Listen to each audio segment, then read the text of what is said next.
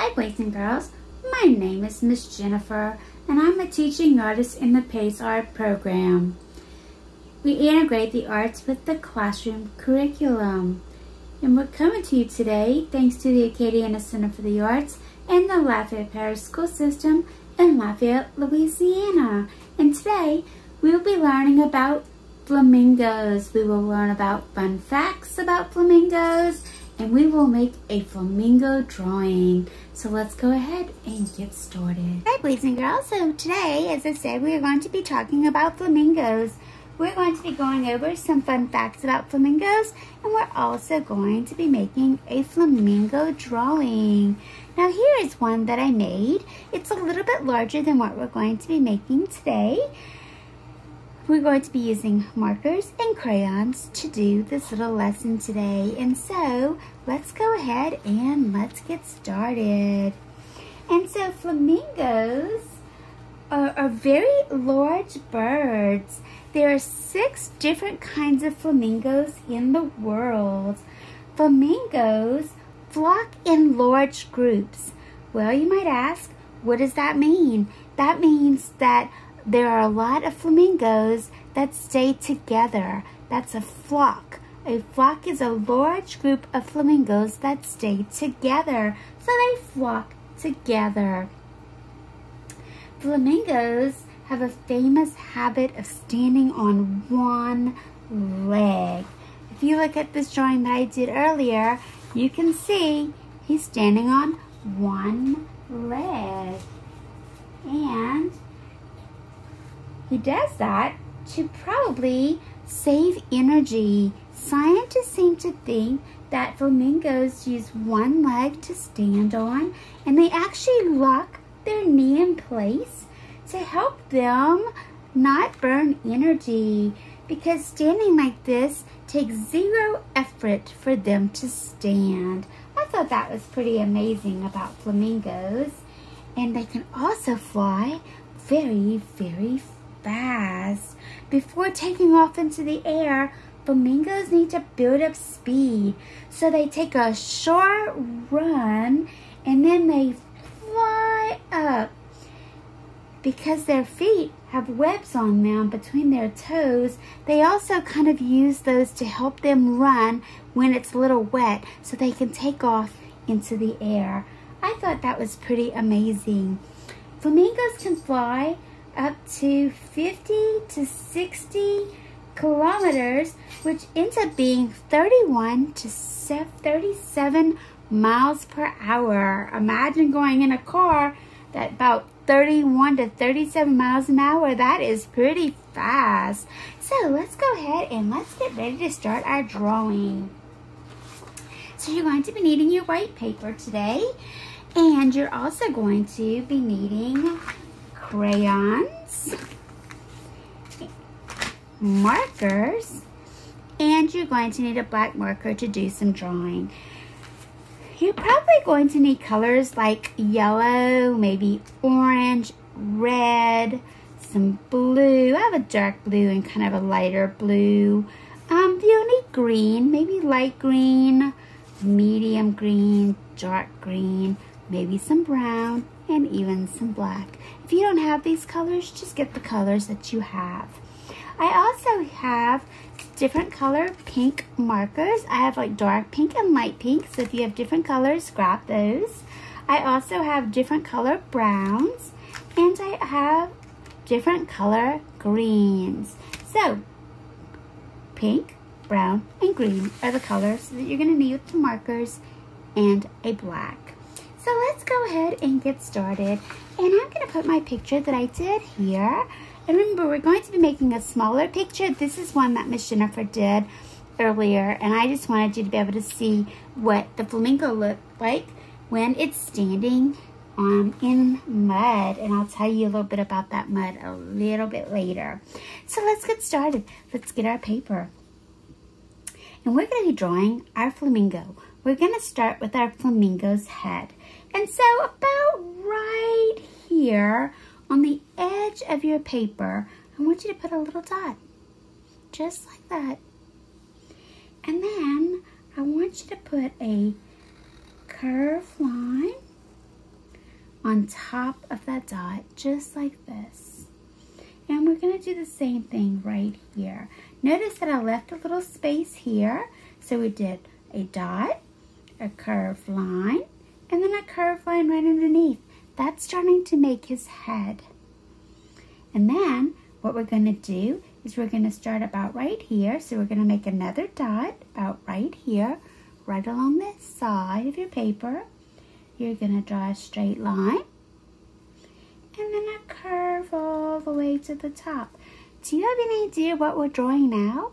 Well, if you said his beak, you are correct. And then we're going to do the same thing here. We're going to draw a straight line. And then we're going to take that straight line all the way to the curve to make his beak. Good job. Now we're going to work on his neck. So watch this. We're going to take that curved line that we started and we're going to go down to about right here and stop. If we look here at a flamingo's head and neck, a flamingo has a very long neck. There, we made the eye.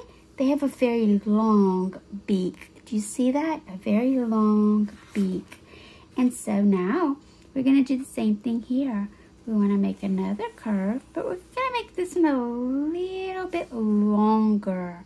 So again, that was a curve coming down and one a little bit longer. I'm going to give you a little time to catch up with Miss Jennifer. And while doing that, I'm going to tell you some more fun facts about flamingos. And so flamingos get their pink feather color from what they eat. When flamingos are born, they are born white. It is what they eat that makes them turn pink. There's a certain chemical in some of the foods that they eat, and what happens is that chemical stays um, on the flamingo's feathers, and that is what makes them pink. So flamingos eat mostly shrimp, so the shrimp have this pink chemical in them. They also eat algae, which is like a plant in the top on the top of the water. And they also eat crawfish and other um, crustaceans. And crustaceans are kind of things like crawfish. And so flamingos um, are found all over the world, but um, sometimes you can also find them here in Louisiana. And if you've ever heard of Lake Martin, um, you might want to get your parents to check it out that is a place that um, we get flamingos sometimes. So check it out. Flamingos like to stand in mud. It's kind of like swampy mud. And here in Louisiana, we have swamp water. And that swamp water makes lots of mud. And they love standing in that mud. So let's go ahead and get back to our drawing.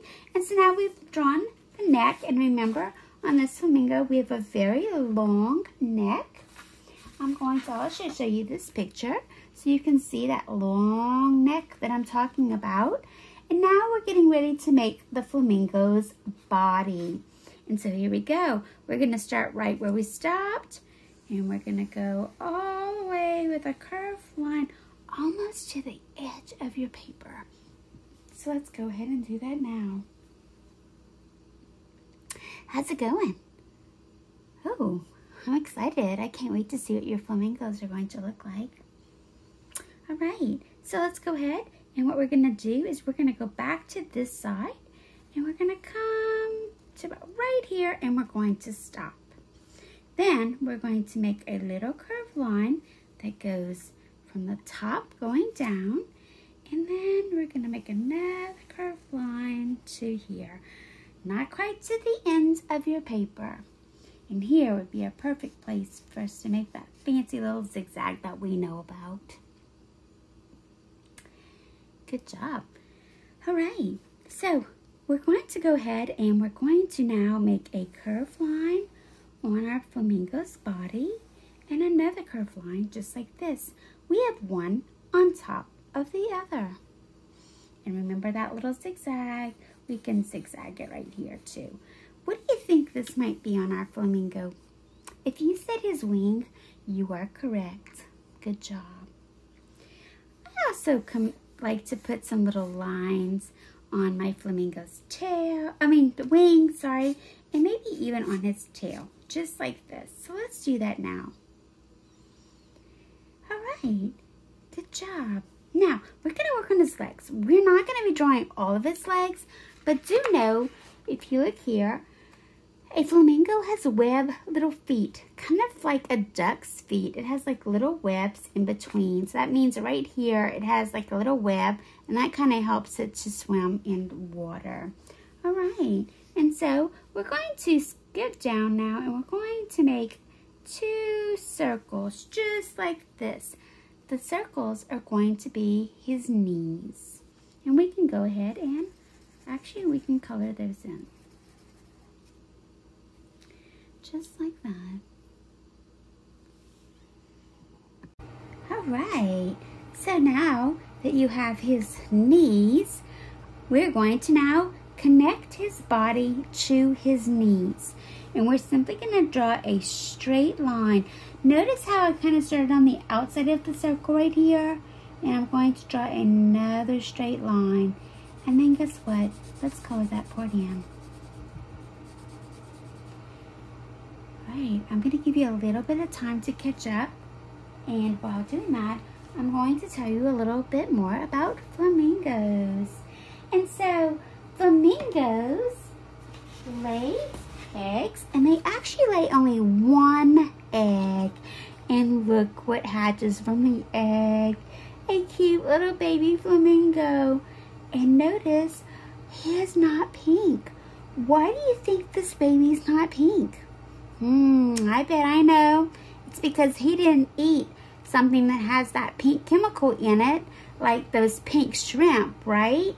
So he is kind of grayish white, but as he grows, when he's about maybe a year old, he'll start to turn pink. Look at this amazing part right here. His little legs are so long.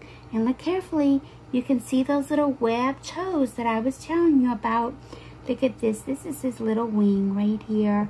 So this is a baby flamingo.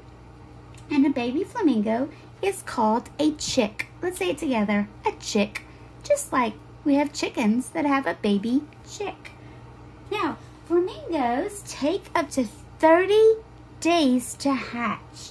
And so the mom and dad flamingo, or the male or the female, will take turns sitting on the egg until it hatches, remembering that they only lay one egg. All right, so let's go ahead and let's work on the next part. So now what we're going to do from right here, right on the inside, is we're going to draw a straight line going to the um, body of our flamingo, and we're going to do that again. So with two straight lines, and let's color it in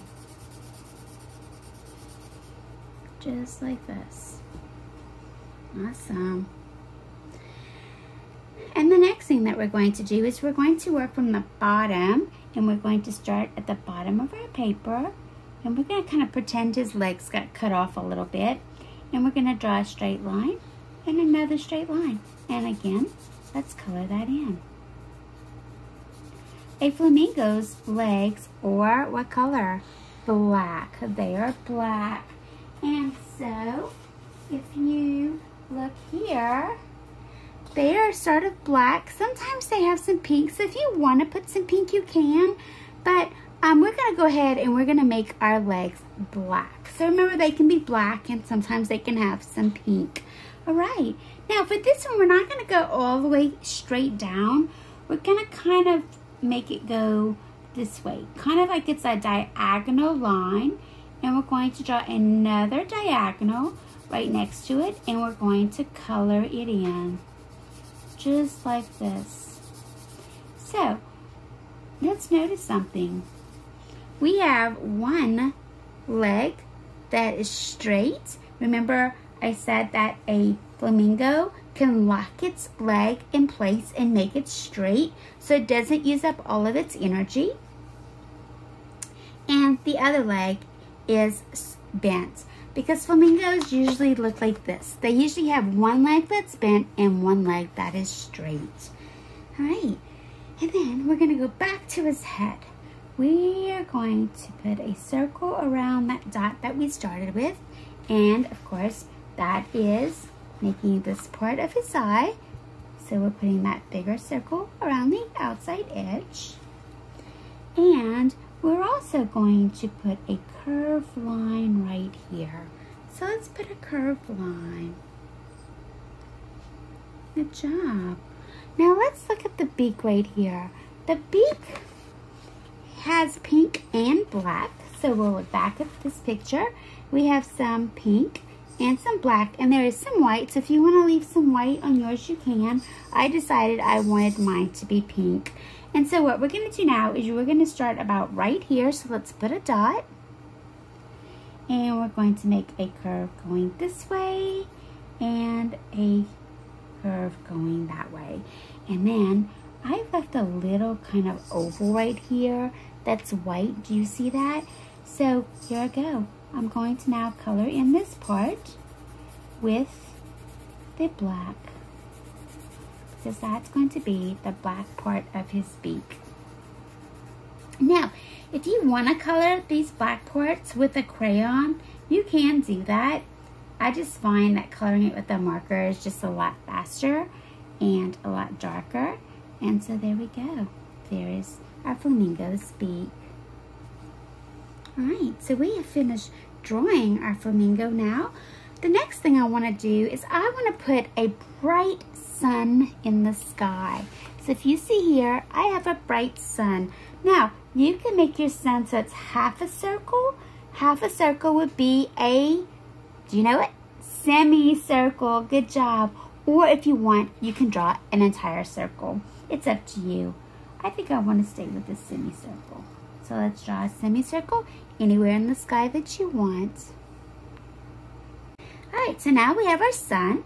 And I went ahead and I drew some lines on the side of my paper.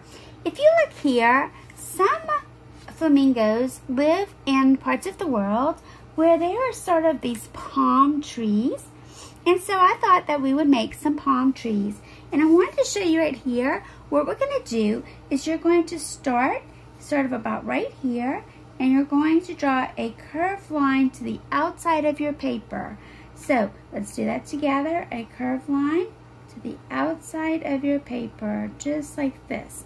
And then you're going to draw another one. So I'm sort of tracing over mine to show you what I did. Good job. And let's do it again. A dot, and we'll make another one that's a little shorter.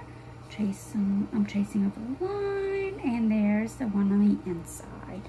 All right, now we're going to be using our zigzag line next. This is a little tricky now, so watch this. So our zig zigzag lines face this way. They face across our flamingo. And we go this way, this way, this way with all the points facing toward our flamingo.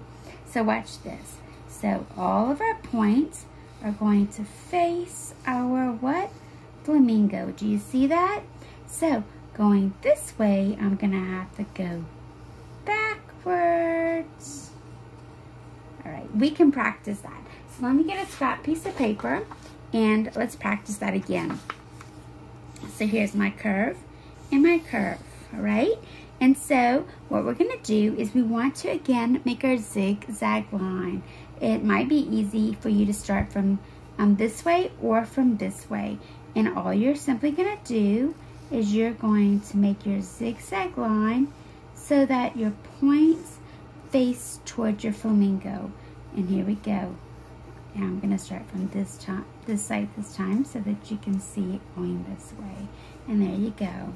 Right, so I'm going to do it one more time right here. And I'm going to make them go toward my flamingo. Now, if yours does not go towards your flamingo, don't worry about it. It's okay. I'm just trying to teach you how to make the palm trees by making the zigzag points going in one direction. That's something for you to practice later. But you know what? If you just want to make it where you draw zigzag like this, I say go ahead and do it. Just make your zigzags any way that you want. All right, so there we go. Now on this one, I made a tree But I think here I'm just gonna kind of make the leaves hanging off the side. I do want to go down to the bottom and I want to make some wavy lines. This one I sort of had my flamingo standing in mud, but this one I think I might put him standing in water.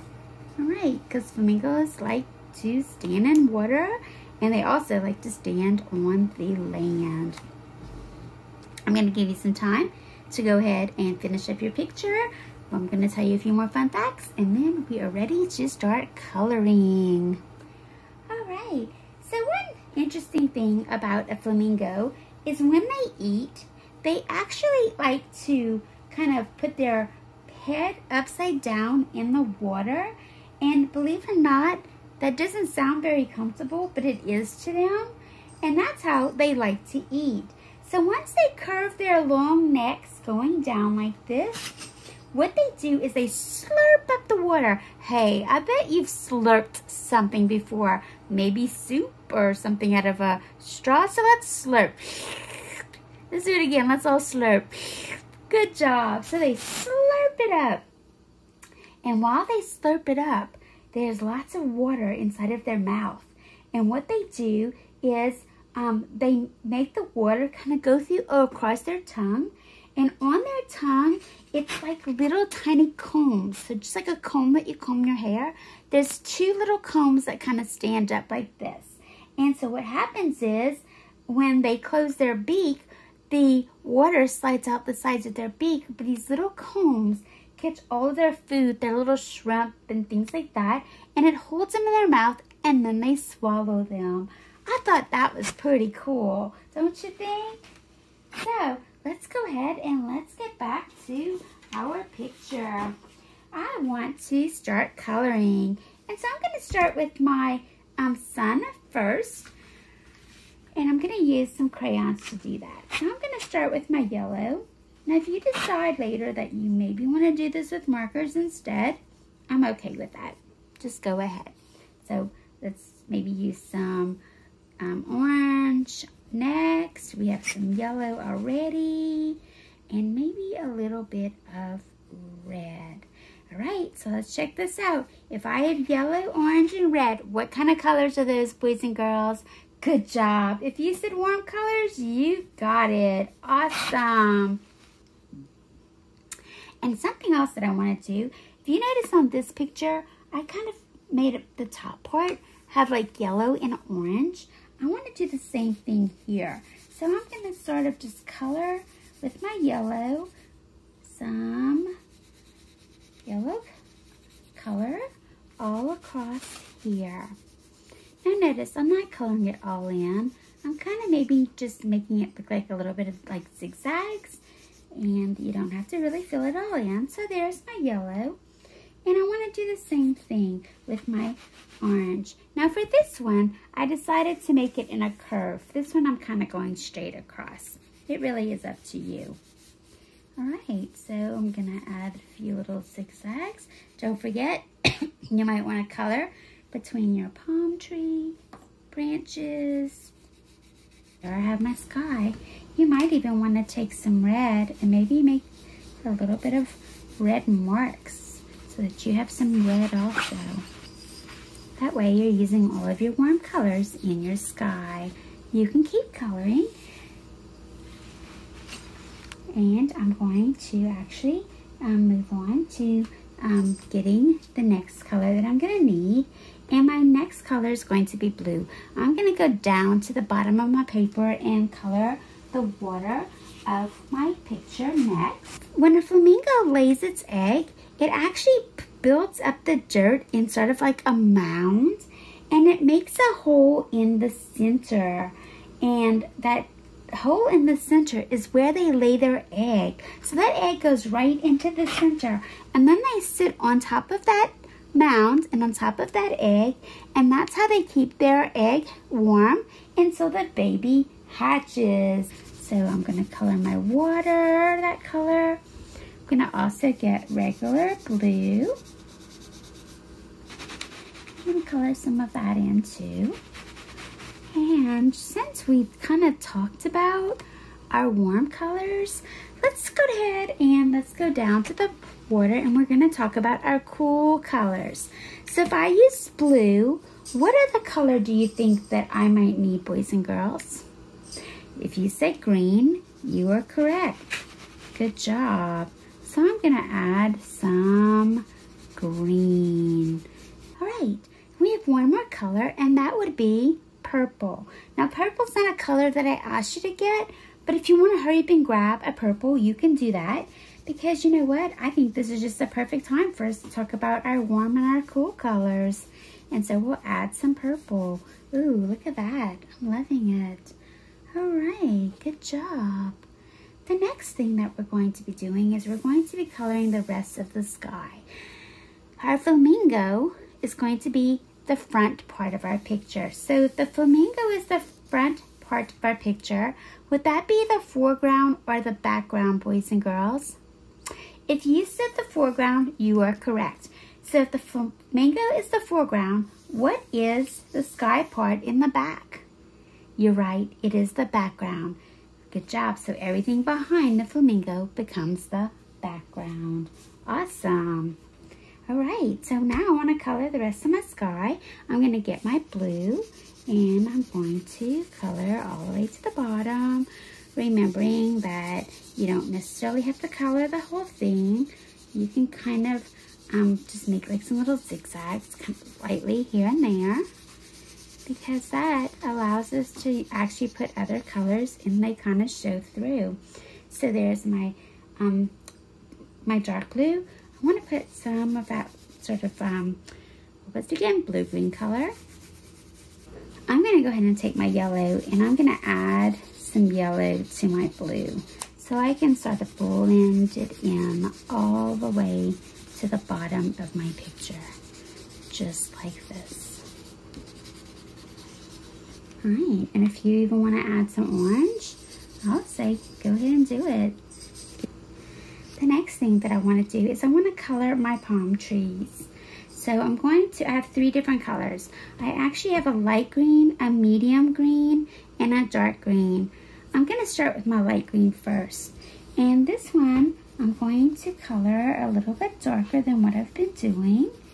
And it's um, sort of like a yellow green. It's really a pretty color. All right. And then I want to take my dark green and I'm going to color the center part of my palm tree leaves. Now, if you want to color your greens in a different place, I say go for it. Let's just go ahead and do that. So, all right. And now I'm going to add a little bit of dark green also on my leaves. Remembering that I have one more green, which is my medium green, that I can also add. And I have one more green, which is my medium green, and I'm going to also add that color. So now we're ready to color a flamingo. We're going to be using what color, boys and girls? If you said pink, you are right. Good job. All right, and you could even maybe get your red crayon and you could add a little red because sometimes they have a little red too. And what you're gonna do is you're gonna color all of your flamingo with your light pink color. Now, if, I'm sorry, marker. If you do not have a pink um, marker, then go ahead and get your pink crayon and color your flamingo with your crayon. That will work just as well. So now I've finished coloring my flamingo. The next thing that I want to do is I am going to um, use a darker pink. So here I go. And I'm gonna I'm gonna use it on a piece of paper so that you can see I have different color pinks right here. And if you look here at this one, I kind of use that darker pink to make it look like maybe it has like feathers all over. And so you might want to do that where you just kind of make dashed lines. Maybe color in some of the tail part with it. And you just simply want to make like dashed lines with it so that it starts to look like feathers on the end of the wing. You can also color it in with a darker color if you want. And just keep making those little dash lines. You know what? If you don't want to do his neck, you could even skip the neck. It's really up to you. Now I want to make some on his head. And so I'm going to go a little darker around his beak. Just like this.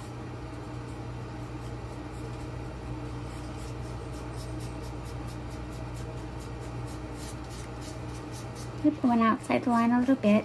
And I guess I need to slow it down, right? Did you know that the underside is this color? Yes, it's black. Check this out. When they are flying, the underside of their wings are black. I thought that was pretty cool. And I also have this picture of a um, flamingo mom with the baby. And you can see the baby is still pretty whitish gray. Um, the mom is actually feeding the baby. And here, the mom's legs are sort of pink with some black. And the babies are completely black.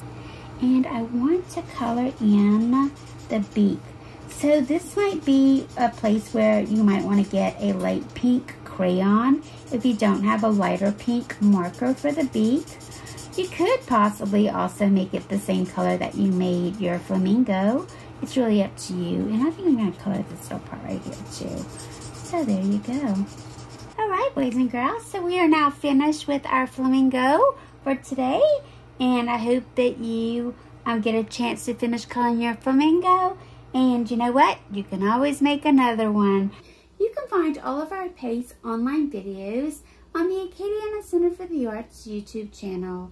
You can also get our lessons on AOC as part of the Learn United program. Accessible on AOC or Cox Channel 16 or LUS Channel 4. Kindergarten lessons will be aired at 8 a.m. and first and second grade lessons will be aired at 9 a.m. Some lessons are in visual arts and others are in creative movement. So be sure to come back and make art with us tomorrow. If you are interested in supporting programs like this, you may donate to the Acadiana Center for the Arts, the nonprofit that manages the PACE program. Spread the word and share our videos and continue to make art.